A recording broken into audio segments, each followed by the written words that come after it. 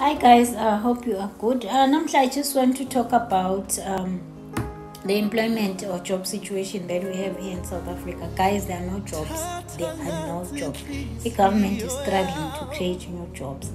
So let's try to leave our comfort zone. Especially, I'm just going to address young people, people who've graduated from varsity, people who have got matric, scholar, they're working, money work experience. Those I'll just classify them as unskilled workers, even on a qualification like a, a postgraduate uh, certificate or whatever. But those people who have graduated, let's leave our comfort zone, let's go out of the country, let's go migrate and go and look for employment outside the country. Uh, countries like Canada, for example, is one country which is very easy to migrate to because in Canada you can actually go on a visit visa. Bagniga six months. Once you get uh, a job, you can change that visit visa to a work visa. Then countries like uh, New Zealand, countries like uh, U- the UK, uh, currently UK ivulile bafuna bonesi they want healthcare assistant caregivers they just want a lot unskilled laborers, fruit uh, people to go and work in the farms.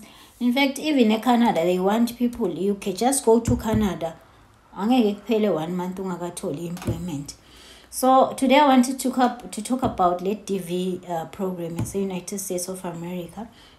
The, U, the us uh, gives around almost 50000 green cards every year to people from outside the us from eligible countries. So ivulile ke i-application period from mhla ka-5 october iphela mhla ka-8 november. I'm going to leave le website where you have to go to to do an application on the description yale video le.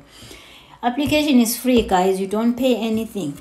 The only thing le necessary you need a good picture. According to my specifications akhona. Your picture must be ibe ngile right picture according to leyo specification that you'll get on the website. So let's go and apply.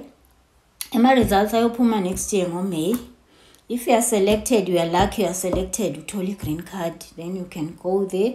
Uyosebenza you get all the benefits of being an american citizen. So guys let's not waste time especially if you are young awunama-responsibilities awunamithwalo ukuthi ufuna no just pack and go. Go and apply now go to those countries like canada. Go to the uk just explore the world. Uyekele kuhlala ikasi ikasi side ngalutho all right guys good luck